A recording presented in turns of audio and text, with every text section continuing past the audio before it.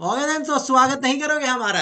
नमस्ते आदाब सत मैं हूँ सीए संकल्प कांस्टिया। स्वागत है आपका इस नए सेशन में। सो गाइस आज हमारे श्योर शॉट टेन मार्क्स में आया है। One more very recommended and asked by students is building block model because exam में कहीं ना कहीं ये रेपिटेटिवली आ रहा है and there are good practical question of ten marks which are being asked on this concept so I thought चलो, इसका भी एक वीडियो आप लोग के साथ शेयर कर देता हूँ.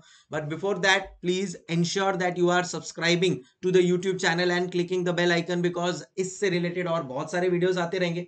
Plus I am also putting content related to A F M paper two in group one and paper six of your IBS so stay connected and do like the video अगर आप लोग को ये सब videos पसंद आ रहे हैं share करना with all your colleagues who would require this तो चलो आओ स्टार्ट करते हैं बिल्डिंग ब्लॉक मॉडल इसके सारे नोट्स आपको मिल जाएँगे डिस्क्रिप्शन चैनल में जो मेरा टेलीग्राम चैनल दिया है, या फिर आपको कमेंट्स बॉक्स में भी टेलीग्राम चैनल मिल जाएगा। वहाँ से भी आप ये डाउनलोड कर सकते हो जो नोट्स है, जिससे मैं अभी आप लोग को ये पढ़ाने वाला हूँ। Alright guys and in case आपको लेक्चर्स ज्वाइन करना है so the 80 hours batch is done 50 hours batch almost done, so you can join either of that webuk.in हमारा वेबसाइट है, वहाँ से आपको सारा इंफॉर्मेशन मिल जाएगा। And now we are going to start with B B M B B M so एक performance pyramid अपन लोग ने कर लिया है, अब अपने को आज का टारगेट क्या है? तो अपन लोग ने परफॉर्मेंस पिरामिड किया सम किया। अब अपन लोग स्टार्ट करेंगे B B M building block model building block model का प्रॉपर पूरा थ्योरी करना है।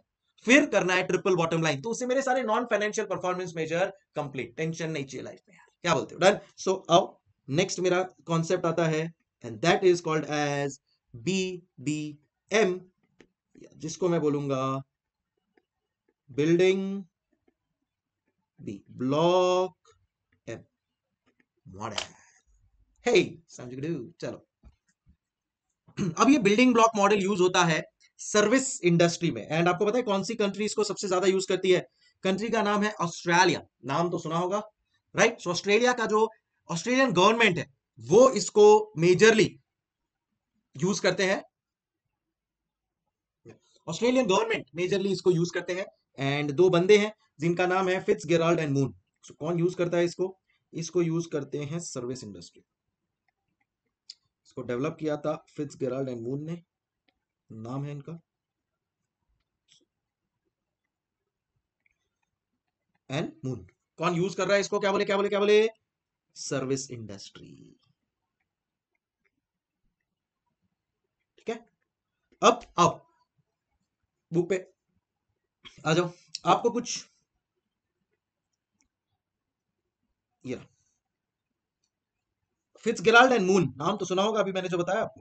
Propose a building block model which suggest the solution for performance measure and problem in service industries it can be apply to other manufacturing and retail business to evaluate business performance और ये जो आपको इधर अंगूर के गुच्छे दिख रहे हैं, बस ये अंगूर के गुच्छे ही आपको खाने हैं। कैसे? जैसे आपको परफॉर्मेंस पिरामिड में मैंने प्रॉमिस किया था। और जैसा मैंने बोला था, मेरा वचन ही मेरा शासन है। तो मैं आपको वापस से प्रॉमिस करता हूँ that give me 15 minutes and ये पूरा का पूरा कॉन्सेप्ट आपके दिमाग में सेट कर दूँगा। ये वादा है। चलिए, मेरा समय शुरू होता है अब। अब इसको एक्सप्लेन करने के लिए मेरे पास है एक बहुत ही अच्छा वाला example which is based on your life क्या बात कर रहे हैं sir? Yes which is based on the example of articleship experience क्या अपन सब में आर्टिकलशिप की है? The answer is yes now if you observe closely articleship is nothing but related to the service industry related किससे? Service industry से, बस। तो मैंने सर्विस इंडस्ट्री के लिए आर्टिकलशिप का एग्जांपल लिया एंड उस हिसाब से मैं आप लोग को ये पूरा एग्जांपल बताऊँगा and it will be set in your head ऐसा कि कभी भूलेंगे नहीं। बस, एक वादा। जैसे मेरा ये कंप्लीट हो जाए समझा के, दो बार समझाऊँगा, एकदम परफेक्टली दिमाग में लॉजिकली सेट कर दूँगा। उसके बाद आपको पॉज करके मुझे ये खुद से बना के वीडियो या एक फ़ोटो भेज देना है व्हाट्सएप पे सो दैट फिर कभी आप लोगों को कभी भी इस चीज़ में प्रॉब्लम नहीं आएगा।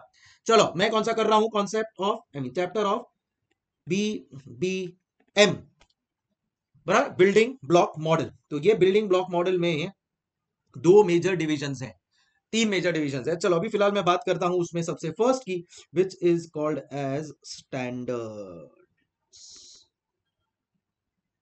which is called as standards आइए, अब सुनो।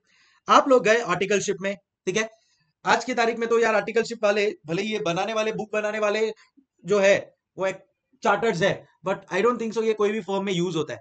बट मेरे हिसाब से अगर ये हर फॉर्म में यूज़ होना चालू हो जाए, जो मैं आपको एग्ज़ाम्पल दे रहा हूँ, जिसमें मैं आपको बीबीएम से कनेक्ट करने वाला हूँ that will be the best thing for every article clerk अगर आज कोई आर्टिकल क्लर्क ऑफ़िस में कोई भी आर्टिकलशिप के लिए जाता है देन इन दैट केस सबसे पहला काम है उसको बहुत सारा ट्रेनिंग देना चाहिए। बिकॉज़ वो तो नया नया इस फ़ील्ड में, उसको थोड़ी ना कुछ ज़्यादा आइडिया है। तो आप उसको पहले, सबसे पहले ट्रेनिंग दो। और जब आप उसको ट्रेनिंग दो दोगे, उसको ऐसा काम दो इनिशियली जो इजीली कर पाए। सीधा फ़र्स्ट डे पे बोलोगे, जा, चल ट्रायल बैलेंस बना वाउचिंग वेरिफिकेशन कर दे, सीधा पीआरएस कर दे। अरे, रुको जरा, सबर करो। भाई, थोड़ा उसको ट्रेनिंग दो, बताओ कि क्या होता है फाइनेंशियल देखो, उसने वो भी पढ़ के आया है बट थियोरेटिकली सब चीज़ें पढ़ी हुई है। प्रैक्टिकली कैसे फाइनेंशियल्स दिखते हैं? क्या रोल है एक चार्टर्ड अकाउंटेंट का? बेस लेवल पे आर्टिकल का क्या रोल है, उसमें क्या क्या चीज़ें उसको सीखनी है, पहले कौन सी चीज़ वो सीखेगा, उसका ट्रेनिंग दो उसको, उसके वो ट्रेनिंग से रिलेटेड दो तीन चीज़ें करवाओ, तब जाके उसको एक कॉन्फिडेंस आएगा that yes I belong to this industry I belong to this fraternity and that is how the systematic way things should proceed तो सबसे पहला काम क्या करना चाहिए? कंपनी ने एक कुछ स्टैंडर्ड सेट करने चाहिए। क्या होगा सबसे पहला स्टैंडर्ड पहला स्टैंडर्ड होगा कि बॉस कंपनी ने देना चाहिए आर्टिकल क्लर्क को ट्रेनिंग ट्रेनिंग जैसे ही उसको मिलेगा he will be able to do the things which are now achievable by him तो पहला स्टैंडर्ड है कि उसको ट्रेनिंग दो और उस ट्रेनिंग के बदौलत की वजह से he will be able to achieve the things in his life which he feels are important जैसे ही उसने स्टैंडर्ड्स को अचीव किया हेलो मेरी बात को समझो जैसे ही उसने स्टैंडर्ड्स को अचीव किया, अब उसको एक कॉन्फिडेंस आ जाएगा कि हाँ भाई, चलो मैं वाउचिंग वेरिफिकेशन क्या है, समझ गया, मैं उसको अभी कर पा रहा हूँ। बीआरएस बैंक रिकंसिलिएशन स्टेटमेंट अपन लोग उसको बनाना सिखाएँगे। ठीक है ना? प्रैक्टिकली नहीं बनाया उसने। उसने ठीक है भाई सब में वो hands up down plus minus करके बनाया। प्रैक्टिकली बनाना है। यहाँ पे वो नहीं चलता, यहाँ पे लॉजिक चलता है बॉस फिर धीरे धीरे वो लेजर स्क्रूटिनी सीखेगा। Trial balance balance sheet finalisation सीखेगा। सो so, एक साल उसको इस चीज़ का ट्रेनिंग देना चाहिए। नेक्स्ट ईयर अगर उसने अच्छा परफॉर्म किया अचीवेबल चीज़ों को समझ लिया सीख लिया then definitely definitely definitely next year उसको एक अच्छे लेवल पे ऐसा काम देना चाहिए जहाँ पे भी उसने आर्टिकलशिप में अभी जो भी कंपनी के लिए vouching verification BRS and fixed assets and ledger scrutiny ये सब सीखा उसी कंपनी का उसको काम देना चाहिए related to ownership related to ownership समझ रहे? तो हाँ भाई, चलो, मेरा ये काम है, मैं इसको अब मैनेज कर सकता हूँ। एक ओनरशिप आ गया मेरे को in terms of work and अगर ये सेट हो गया then we should ensure that अपने ऑर्गेनाइजेशन में जो भी काम है all of that work should be equally divided ऐसा सोचो ना यार कि एक फर्म है जहाँ पे दस दस सेकेंड ईयर आर्टिकल क्लर्क है ten second year article clerk है। तीन जन सुबह ग्यारह बजे आ रहे हैं, रात को शाम को चार बजे, पाँच बजे निकल जा रहे हैं। बोलते हैं, सुबह morning sir seven to ten class evening six to nine class there are three to four article जो सुबह सात बजे आ रहे हैं, रात को नौ बजे तक जा रहे हैं। कोई और है जो सुबह ग्यारह बजे आ रहा है, रात को आठ बजे जा रहे हैं। तो ये तो यार सब मिसमैनेज चीज़ हो जाएगी। किसी को सेम सेकेंड ईयर आर्टिकल जिसको सेम स्टाइपेंड मिल रहा है, कोई दस घंटे काम कर रहा है, कोई छह घंटे काम कर रहा है, कोई बारह घंटे काम कर रहा है, बहुत ना इंसाफी है। So obviously that will spoil the balance of the organisation and एक बात याद रखना, बुरा बनना बहुत आसान है। अच्छा बनना बहुत मुश्किल है। बड़ी बात कह दी मैंने, है ना? मतलब देखो ना, बुरा बनना इन द सेंस कि यार, बस आराम करना है, रोज दस बारह घंटे सोना है, रात को जल्दी सोने जाओ, सुबह को लेट उठो, मस्त में पूरा टाइम नेटफ्लिक्स एंड चिल देखते रहो टाइम पास करो पूरा टाइम फेसबुक व्हाट्सएप इंस्टाग्राम पे, ये सब करना कितना आसान है। But to sacrifice and study to sacrifice and be disciplined in your work, do exercise regularly, study for 10 to 12 hours regularly, make writing notes is difficult. So ये जो अच्छा है ना, जो दस बारह घंटा काम कर रहा है, वो भी बुरा होना चालू हो जाएगा। वो बोले अरे, मैं भी छह घंटा काम करूँगा, मेरा भी क्लास होता है। So that should not happen so there should be equity of work everybody should work for say eight to nine hours and वो अगर इक्विटी ऑफ़ वर्क हुआ तो everybody will feel balanced in their overall work scenario so सबसे पहला काम, कोई भी एक सीए फॉर्म को, जब आप सीए फॉर्म स्टार्ट करोगे बिल्डिंग ब्लॉक मॉडल और मुझे ज़रूर याद करना और बोलना कि, सर, हमने भी स्टैंडर्ड सेट किया है। सबसे पहला काम है, हम उसको ट्रेनिंग देते हैं। ऐसी चीज़ की training which is achievable to him over a period of time जब ये ट्रेनिंग के हिसाब से अचीवेबल चीज़ करते जाएगा, तब हम उसको एक ओनरशिप देंगे किसी एक पर्टिकुलर क्लाइंट का, जिसके ऊपर उसने काम किया एंड ओवरऑल ऑर्गेनाइजेशन में there is equity of work so that there is no wrongful comparison standard set हो गया है, अब आते हैं काम के ऊपर। चलो भाई स्टैंडर्ड तो सेट कर लिया है। अब अपन लोग को लगता है कि यार देखते हैं ये लोग काम कितना अच्छा करते हैं। तो किसी का भी काम देखने के लिए देखना पड़ता है हम लोग को कि कुछ फिट्सगेराल्ड एंड मून ने डिटरमाइनिंग फैक्टर दिए हैं, जिसको बोलते हैं डिटर्मिनेंट्स उसने बोला कि अगर ये Q F I R positive है, इस आर्टिकल क्लब का मतलब उसने अच्छा काम किया है। और ये ऐसा ही कुछ आपको आ सकता है एमसीक्यू में। Tell the which of this is not a determinant of building block model तो पहला क्वालिटी आपको लिखेगा वो है। दूसरा फ्लेक्सिबिलिटी वो लिखेगा आप बोलोगे है? तीसरा इनोवेशन वो लिखेगा आप बोलोगे है? और आर से कुछ और ही लिख लेगा। The correct answer is resource utilisation the correct answer is resource utilisation resource utilisation समझ में आ गया क्या आपको? सो so, मेरे चार डिटर्मिनेंट्स है। क्या है वो चार डिटर्मिनेंट्स पब्लिक क्या है वो चार determinants Q F I R Q F I R तो बस ये एक बार स्टैंडर्ड सेट हो गया, फिर वो अच्छा काम कर रहा है कि नहीं, वो मेरे को पता चलेगा। डिटर्मिनेंट्स के थ्रू सबसे पहला quality of work your questions determine your quality कि कितना अच्छी तरह से आप क्वेश्चंस पूछ रहे हैं क्लाइंट के बिज़नेस को कितना अच्छी तरह से समझ रहे हैं, अपने पार्टनर के साथ ये सब चीज़ें कैसे आप लोग प्रॉपरली डिस्कस कर रहे हो कि नहीं। अगर फाइनेंशियल में कोई मिसमैच है या कोई इशूज है आर यू एस्कलेटिंग इट उसको टॉप लेवल पे लेके जाके बता रहे हो और उसका सोल्यूशन लेकर आ रहे हो कि नहीं?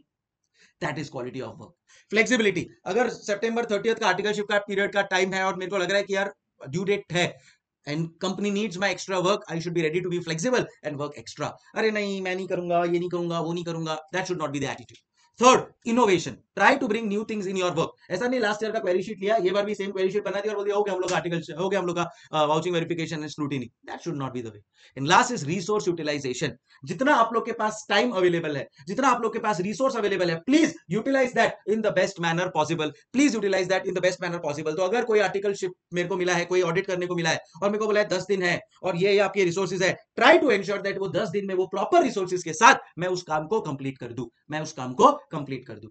तो अगर ये चार मेरे क्यू एफ़ आई आर में प्रॉपरली फॉलो कर देता हूँ देन इन दैट केस उसका रिज़ल्ट मिलेगा मेरे क्लाइंट को एंड उसका रिज़ल्ट क्या होगा? That financial performance and competitive performance of my client will become better ये अगर मेरा क्यू एफ़ आई बराबर वो करता है मेरा स्टाफ तो कहना इसे financial performance and competitive performance will get better इस पूरे इस पूरे एस्पेक्ट को बोलते हैं डायमेंशन ऑफ़ बीबीएम इधर ही नहीं इसके बाद चलते हैं लास्ट चीज़ के ऊपर। देखो मैंने इतना अच्छा काम किया कि मेरे क्लाइंट का फाइनेंशियल परफॉर्मेंस और कॉम्पिटेटिव परफॉर्मेंस फाइनेंशियल परफॉर्मेंस मतलब now his sales will improve profitability अच्छा हो जाएगा कॉस्ट अपन कम करने की कोशिश करेंगे कहीं पे कुछ वेस्ट हो रहा है उसको मिनिमाइज करवा देंगे। सो so, अगर मैं मेरे क्लाइंट के लिए इतना सब अच्छा करवा रहा हूँ बराबर है? Plus at the same time competitively will become good now i will become better than my competitors. Then in that case, i will also expect some rewards from the company. यार, हर इंसान को रिवॉर्ड तो चाहिए ना। आप CA का degree क्यों कर रहे हो? आपको रिवॉर्ड चाहिए। कि बॉस मैं सीए बन जाऊँगा तो मेरे को कुछ प्रेस्टीज है, मेरा मार्केट में एक रिस्पेक्ट और एट द सेम टाइम एक जॉब मिलेगा मुझे, एक लाख रुपए महीने का देगा। जब मेरा ये एक लाख रुपए का job financial aspect financial motivation prestige in the market recognition non financial motivation जब ये दोनों मोटिवेशन मिलते हैं ना उसके लिए मैं एक काम कर रहा हूँ तो वैसे ही हमारा जो स्टाफ है, जो हमारा आर्टिकल क्लर्क है, उसको भी रेगुलर बेसिस पे चाहिए। क्या? Motivation it could be monetary also it could be non monetary also परवाह नहीं। But yes you have to take care of motivational aspects for our article clerk उसको दो जो आपका स्टाफ है, उसको दो मोटिवेट करो उसको। मॉनिटरीली नॉन मॉनिटरीली कुछ भी चलेगा but do it do it फिर बाद में एक बार अगर आपने मोटिवेशन दे दिया उसको then there should be clear communication in the organization क्या रूल्स है क्या रेगुलेशन है क्या पॉलिसीज़ है काम बराबर कैसे करना है कब आपको बोनस मिलेगा कब हॉलीडेज मिलेगी there should be clear communication within the organization and last है that all the things should be controllable so there has to be a controllability factor there has to be a controllability factor controllability factor के बारे में आप लोगों को कुछ बता रहा हूँ ध्यान से समझना now when आप जब किसी मैनेजर को कुछ काम दोगे तो आप उसको बोलोगे, भाई, तू क्या लग रहा है? तेरे को अगर मैंने ये काम दिया तो कितने टाइम में कंप्लीट कर पाएगा? या फिर, क्या कॉस्ट लगेगा? अब ऐसा ही कुछ हम लोग के से डिपार्टमेंट में हुआ। एक मैनेजर है परचेज मैनेजर है। परचेज मैनेजर को बोला कि, भाई, सुन, मेरे को ये कैलकुलेटर बनाना है। उसके लिए मेरे को रॉ मटेरियल चाहिए प्लास्टिक मेरे को ये क्वालिटी का प्लास्टिक चाहिए। चल, तू लेकर आ। अब वो बंदा बोला कि, ठीक है, मैं लेकर आ जाऊँगा बट इसका एक बजट है। एंड द बजट इज़ और आज नहीं चाहिए था, हम लोग को छह महीने के बाद चाहिए था। उसने बोला कि, सर बजट आएगा कि, sir twenty five rupees per kilo plastic का आएगा based on the current scenario उसने ये बोला। अब हुआ क्या? Globally the crude oil prices crude oil prices were very high जिसकी वजह से ट्रांसपोर्टेशन कॉस्ट बढ़ गया, जिसकी वजह से बाकी जो चीज़ें, बाकी जो रॉ मटेरियल है, उसका भी कॉस्ट बढ़ गया। और ये जो रॉ मटेरियल वो लेकर आने वाला था मेरा परचेज मैनेजर ट्वेंटी फाइव की जगह अभी वो थर्टी फाइव रुपीज़ में लेकर आया, बोलो। मैं उसके ऊपर गुस्सा हो गया, मैं बोला, ये क्या बात हुई यार? तूने ट्वेंटी फाइव बोला था how can you get it in thirty five cut from your salary उसने बोला, सर, ऐसा मत कीजिए because sir global crude oil prices बढ़ा है, उसकी वजह से हुआ है, सर, ये मेरे कंट्रोल में नहीं है। सर, आप मुझे पनिश कीजिए मेरे कंट्रोलेबिलिटी फैक्टर के लिए, अगर मैं बराबर कोई चीज़ पे निगोशिएट नहीं कर पाया then it is in my control but I could do my work properly sir उसके लिए आप मुझे जिम्मेवार ठहराइए चलेगा but only for controllable things sir things on which i'm no control so please don't give my rewards based on that and that is where मेरा rewards का system was evolved rewards का system was evolved समझ में आया बस बन गया ये क्या ये देखो अंगूर के गुच्छे बन गए यस स्टैंडर्ड्स डायमेंशंस रिवॉर्ड्स इसी स्टैंडर्ड के अंदर तीन चीज़ें चाहिए अचीवेबल ओनरशिप इक्विटी फिर कैसा काम कर रहे वो डिटरमाइन करने के लिए? Q F I R quality flexibility innovation resource utilization अगर ये सब बराबर किया then we will be able to give the results desired by my clients which will ensure his financial performance and competitive performance becomes better and eventually, he expects some reward in the form of motivation clear communication, and controllability. ए समझी गुडू अब अभी तो मैंने बोला नहीं है बनाने को रुक जाओ। अभी एक बार अपन साथ में वापस से बनाएँगे। एंड देन फिर बाद में the ball will definitely be in your court चलो स्टार्ट करते हैं। सो so, अब मैं बना रहा हूँ बिल्डिंग ब्लॉक मॉडल का पूरा ये system which is divided majorly into three part hello तीन पार्ट में डिवाइडेड है ना ये? क्या? सबसे पहला है स्टैंडर्ड्स तीन standards are the most important सबसे पहला है अचीवेबल होना चाहिए मेरा स्टैंडर्ड सो ऐसा ट्रेनिंग दो कि standards are achievable standards are achievable अगर ये स्टैंडर्ड हम लोग ने अचीव कर लिया, अगर ये स्टैंडर्ड हम लोग ने अचीव कर लिया then in that case the next in line will be giving you ownership so, second is ownership and then ensure that there is equality of work in the organization ये हुआ मेरा first aspect of BBM second aspect में आता है मेरा dimension इस dimension को divide किया है दो पार्ट में कि भाई कैसा काम चल रहा है वो डिटरमाइन करने के लिए कुछ डिटर्मिनेंट्स चाहिए एंड उसके बेसिस पे पता चलेगा कि क्या रिजल्ट्स आने वाला है. Determinants are have divided into four parts Q F I R Q stands for quality F stands for flexibility भाई.